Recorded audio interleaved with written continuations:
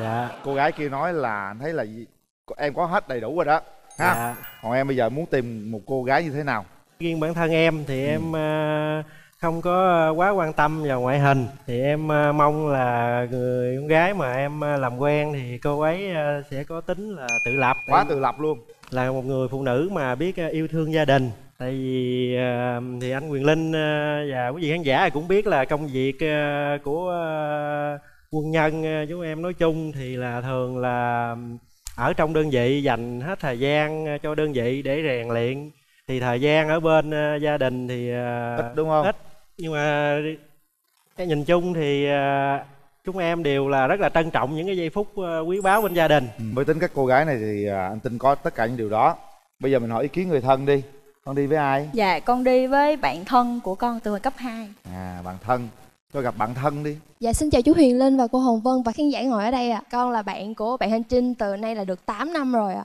Anh này thì có thấy hơi hiền á, với uh, rụt rè, không biết hôm nay lên đây anh nó hơi rụt rè hay sao mà nghĩ nếu mà anh ở ngoài anh mà cái tính anh như vậy thì chắc con Trinh nó ăn hiếp. ờ nếu là con con có bấm ờ, nhấn bây giờ thì à, hai bạn đã có mặt ở đây rồi chúng ta cùng à, giới thiệu lớn lên để bên kia cùng nghe luôn nha rồi mời em trai Dạ, lời đầu tiên thì em à, xin à, chào anh Quyền Linh, chào em chị Hồng Dân chào em và quý khán giả đang à, xem chương trình. Em tên là Nguyễn Trọng Hiếu, năm nay 29 tuổi, quê quán ở Bến Tre. Thì hiện tại em đang là thiếu úy quân nhân chuyên nghiệp, công tác tại tiểu đoàn thông tin 26, Bộ Tham mưu quân đoàn 4, đóng quân tại Dĩ An, Bình Dương. rồi cô gái bên đây mình giới thiệu nào Dạ con chào cô Hồng Vân, con chào chú Huyền Linh Con tên là Đỗ Nguyễn Hạnh Trinh, năm nay con 21 tuổi Hiện tại con đang là sinh viên năm cuối khoa nhiếp ảnh của trường sân khấu điện ảnh. Trong quá trình, trình đi học á, thì con có, có đi làm thêm ở ngoài về chuyên ngành luôn. Thôi sẵn vậy á con nói luôn về cái điểm mạnh điểm yếu của mình đi. Dạ con thì à, được tính thì hoạt bát, luôn suy nghĩ tích cực, tháo vát trong công việc rất là nhiều. Còn điểm yếu thì đụng đến cái việc ờ, gì mà con không thích á, thì con dễ nổi nóng. Và có cái tính hay quên. nữa. bạn ơi bạn nghe chưa Dạ, em nghe chị Hồng Dân ơi. À, rồi bây giờ em giới thiệu về điểm mạnh điểm yếu của mình đi Dạ, điểm mạnh của em là vui vẻ, hòa đồng, ừ. hay cười. Còn về điểm yếu thì là rụt rè. Gặp gái là không có dám nhìn thẳng vô mắt. rồi con thấy sao ví dụ như có người yêu mà không bao giờ dòm vô trong cái mắt của mình á thì con có chấp nhận không Dạ cái này để rèn từ từ sau. không được bắt buộc phải nhìn vô mắt bởi vì khi mình giao tiếp với người nào đó đó mình không nhìn vô mắt ta mình nhìn vô đâu á đôi khi người ta khó chịu người ta không có không có cảm tình với mình cố Đâu gắng vậy? hiểu nha Dạ để vâng. con coi đâu giờ nhìn Dạ, em mắt chào chị, chị. đi chào em Dạ. đó thế nhìn vô mắt bình Ừ. thường mà nó nhỏ ra nghe bên đây xinh lắm nha Dạ, cho nên là cứ phải xoáy vô mắt liền nghe chưa dạ. bạn dạ. hiếu này á là nhìn vô cô gái đẹp mà không dám nhìn vô mắt còn nhìn những người mà lớn lớn mà bự bự thì ta nhìn thẳng vô mắt nó thoải mái đúng không hiếu Dạ chị Hồng Dân rất là xinh đẹp ạ. Thấy chưa quê chưa? Có thấy quê không? Em có mấy mối tình nói cho chị vân nghe đi. Em chỉ có ờ, một mối tình là thời ờ, mà sinh viên cũng kéo dài ờ, được 5 năm. Sau đó thì chia tay đến nay cũng thêm 5 năm nữa em cũng không có quen ai hết. trời 5 năm ở không rồi đó hả? Dạ, ồ ôi. Đi về có một mình nên à chị. để anh qua coi đàn gái coi sao. Dạ. đó nè. Dạ con chào chú Huyền Linh. trời ơi dễ thương chào con. À, mấy mối tình rồi? Dạ hai cái đầu tiên thì là con chỉ là cảm nắng đơn thuần thôi nên là thời gian ngắn. Còn cái sau thì là thích thiệt. Cái mối tình thứ hai đó dạ. là bao nhiêu năm? Dạ có khoảng 6 tháng rồi. Nhưng mà do anh đó không làm cho con có đủ sự tin tưởng với lại cảm giác an toàn nên là tụi con chấm dứt. Hành động gì mà không thấy an toàn dạ anh đó nói con là anh đó còn thương người yêu cũ. Nhớ đừng nhắc gì người yêu cũ nha. Người yêu cũ mình nhắc người yêu cổ thì được. Vậy hai mối tình nó cũng đơn giản quá đúng mà. rồi Dạ. cả hai người Ừ. đều là những mối tình thoảng qua thôi. Rồi bây giờ con muốn tìm người yêu thế nào con à, cho chú linh với cô vân biết coi nào. Dạ con muốn tìm người yêu là có sự chín chắn nhưng Chín mà chắn, bộ đội là chín chắn rồi. vẫn có sự vui vẻ hoạt bát Có vui luôn vui, anh này luôn vui nè. và đủ để làm điểm tựa cho con. Anh này điểm tựa vững chắc luôn. Làm bệ phóng cho con luôn. Ảnh là bệ bắn luôn. Nó nghe làm mẫu ảnh được luôn á. Ừ. Cái bạn nam bên kia làm Có mẫu ảnh cho á. con được luôn á. Cái hình dáng là giống ai? Có giống chú Quyền Linh không? Hay là giống ai? Dạ đẹp trai hơn chú Quỳnh Linh. Cái này là hơn chắc rồi. Em con yên tâm. Chú Quyền Linh cũng không được đẹp lắm đâu. Anh này đẹp trai. Bây giờ á Dạ. cô gái kia nói là anh thấy là em có hết đầy đủ rồi đó ha dạ. còn em bây giờ muốn tìm một cô gái như thế nào riêng bản thân em Ừ. thì em ờ, không có quá quan tâm vào ngoại hình thì em ờ, mong là người con gái mà em ờ, làm quen thì cô ấy sẽ có tính là tự lập quá tự lập luôn là một người phụ nữ mà biết yêu thương gia đình tại vì thì anh Quyền Linh và quý vị khán giả cũng biết là công việc của quân nhân ờ, chúng em nói chung thì là thường là ở trong đơn vị dành hết thời gian ờ, cho đơn vị để rèn luyện. Thì thời gian ở bên ờ, gia đình thì ít đúng không? ít. Nhưng mà cái nhìn chung thì chúng em đều là rất là trân trọng những cái giây phút quý báu bên gia đình. Ừ. với tính các cô gái này thì anh tin có tất cả những điều đó. Bây giờ mình hỏi ý kiến người thân đi. Con đi với ai? Dạ con đi với bạn thân của con từ hồi cấp 2 à bạn thân cho gặp bạn thân đi Dạ xin chào chú Huyền Linh và cô Hồng Vân và khán giả ngồi ở đây ạ. Con là bạn của bạn Hành Trinh từ nay là được 8 năm rồi ạ. Anh này thì có thấy hơi hiền á, với uh, rụt rè, không biết hôm nay lên đây anh nó hơi rụt rè hay sao mà nghĩ nếu mà anh ở ngoài anh mà cái tính anh như vậy thì chắc con Trinh nó ăn hiếp.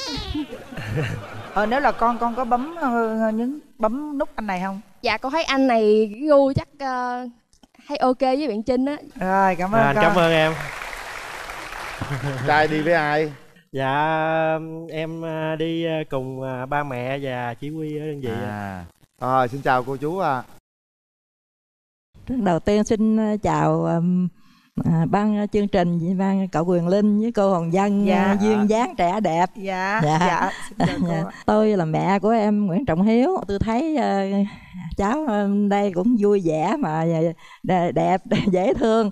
Thành ra ờ, mong sao cho cho ờ, được hai đứa được ờ, bấm nút. Tôi bảo lãnh ờ, là sau này cháu Hiếu sẽ ờ, cưng vợ cưng con suốt vô cuộc đời, chung thủy Dạ. suốt cuộc đời. Trời Dạ, tôi bảo lãnh. Đó. Dạ. trời ơi có gì bảo lãnh Dạ. luôn bảo đó lãnh luôn đó nghe à, Dạ, xin cảm ơn nha chương dạ. trình. cho Dạ, thằng cảm thủ trưởng ơn của cô. hiếu đi chào anh Quyền Linh, chị Hồng Vân. À, tôi tên là Võ Thành Nguyên, chính viên phó à, tiểu đoàn 26 Bộ Tham mưu đường 4 là thủ trưởng của em Hiếu. Thì à, đối với em Hiếu thì à, ở đơn vị thì là một người hiền lành, thật thà chất khoát, ừ, nhiệt tình trách nhiệm trong công việc. Đối với điểm yếu đồng chí Hiếu là rụt rè nhút nhát thôi. Đối với bạn gái bên đây thì ban đầu thì nhìn như thế là cũng được rồi. Mong rằng hai bạn sẽ tạo cho nhau cơ hội để tìm hiểu sâu hơn về sau này à, rồi cảm, cảm ơn. thủ trưởng. cảm ơn thủ trưởng. Bây giờ mình mở rào cho hai trẻ gặp mặt nha. Mở rào.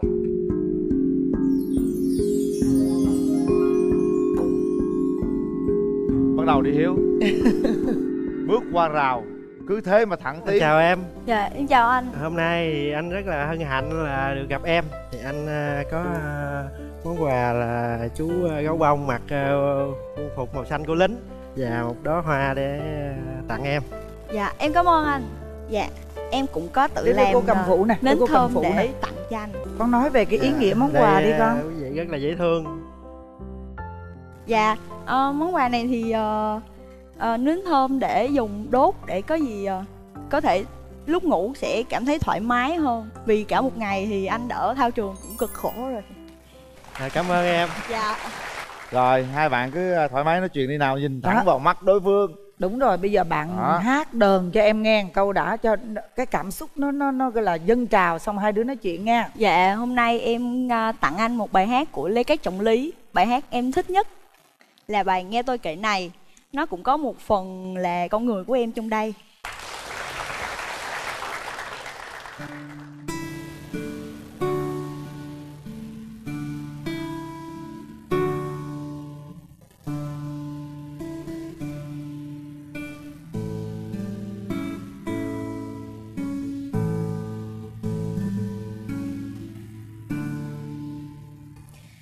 nhìn hãy đến đây. Tôi kể cho nghe câu chuyện về một người em gái xinh.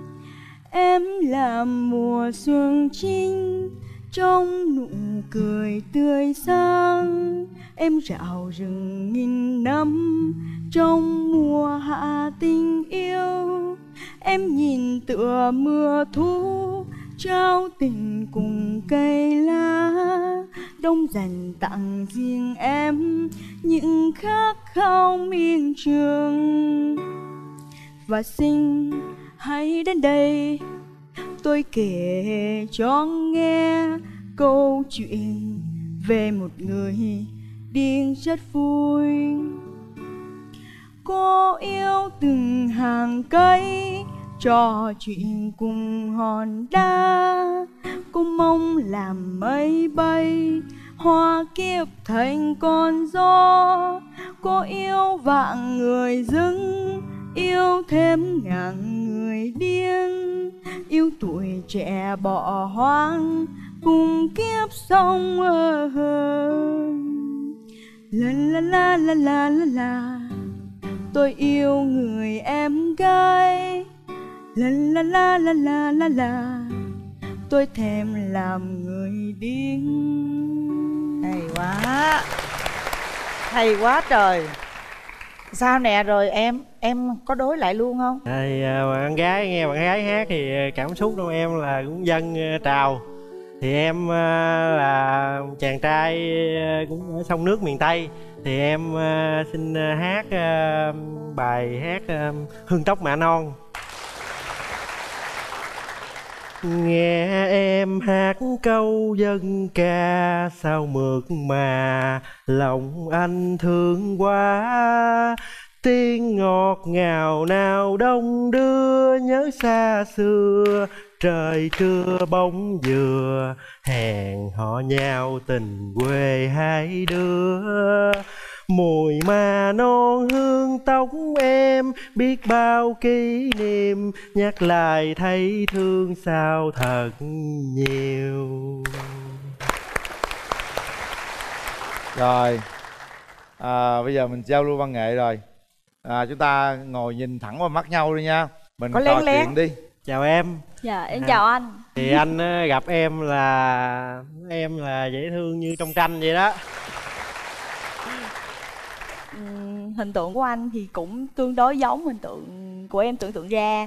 Nhưng mà em có một cái tật xấu là ví dụ như khi ờ, em lỡ nổi nóng hoặc là lỡ giận anh gì đó thì ờ, em sẽ thường hơi sĩ diện cao một tí. Nên là em ít khi nào xin lỗi trước hoặc làm huề trước lắm. Vậy thì ờ, anh sẽ xin lỗi em trước, rồi sau đó hai đứa mình sẽ cùng nhau ờ, ngồi lại nói chuyện. Chắc nếu anh xin lỗi thì em hết nóng liền phải không? Dạ. Hoàn cảnh gia đình của em thì giờ em chỉ còn có mẹ thôi. Mà em làm việc thì đa phần là em làm việc ở thành phố Hồ Chí Minh. Mà quê em thì ở Đồng Nai. Nên là em sẽ thường xuyên chạy về hai chỗ này. Thì em không biết là anh có thể sắp xếp như thế nào. Nếu em từ ờ, thành phố Hồ Chí Minh mà ra Đồng Nai thì ghé ngang Dĩ An rước anh. Còn nếu em từ ngược lại thì vẫn rước anh được nếu vậy mình ờ, sẽ thu xếp là một nơi ở giữa hai gia đình để mình thì vừa tiện cho công việc mà vừa tiện cho chăm sóc ờ, gia đình. Mà Dạ. anh cũng không có ngại ở rể đâu. À dạ vậy thì được rồi. Đời đời trai tụi anh là phong sương. Nhưng mà vì- nhà của hiếu là có mấy anh em? Dạ nhà em là một ờ, người chị cả và năm người anh trai. Ừ. Những anh chị em đều ở gần nhà có thể là thay em chăm sóc cho ba mẹ được. Ừ, tại Không vì bên ở đây có một mẹ đó. một con thôi. Với lại bình dương đồng nai nó cũng sát bên nhau. Bây giờ á, hiếu à, bước tới nắm tay cô gái để mình xem cảm xúc mình như thế nào. Xong mình nói tất cả những suy nghĩ của mình với người đối diện. Đó. Anh thì cũng nói với em á là những người à, lính tụi anh thì à, luôn là quyết tâm là bảo vệ những thứ mà mình trân trọng và yêu quý. Nếu như mà hai đứa mình mà đến được với nhau thì em cũng sẽ là một người mà anh bảo vệ đến hết cuộc đời. Dạ em ờ, cảm ơn và em mong là anh sẽ thực hiện đúng lời hứa. Rồi trở về vị trí. Chúng ta để tay vào nút bấm đi các bạn. Bây giờ đã đến lúc mình đưa ra quyết định của mình. Nếu chúng ta cảm giác đây đúng là đối phương để mình tìm đến. Đúng là nơi mà để mình bấm nút rồi. Mình bấm nút. Rồi đó bây giờ nè một nè hai nè ba nè. Trời ơi. Nhưng mà nó nhảy ờ, hỏi lòng ngực luôn. Em chậm quá. Người ta nói là ta bấm liền luôn. Đó thấy chưa? Đó rất Chưa, là mạnh mẽ bấm luôn. bấm tay liền ha. Rồi bây giờ nè trên truyền hình nó có mẹ của em gái đang xem em hãy nói những gì với mẹ của bạn gái đi. Dạ con ờ, chào bác. Con hứa là sau này là con sẽ, chăm sóc cho trinh và gia đình mà con yêu quý là đến hết cuộc đời ạ. Chị nói gì với ờ, ba mẹ của Hiếu đi? Dạ, con chào hai bác. Dạ, con cảm ơn hai bác vì đã để anh Hiếu đến chương trình. Nếu như thực sự con với anh Hiếu có duyên thì giờ con hứa sẽ hiếu thảo với hai bác giống như mẹ của con. Bây giờ mình làm thủ tục đầu tiên đi ha. Đó.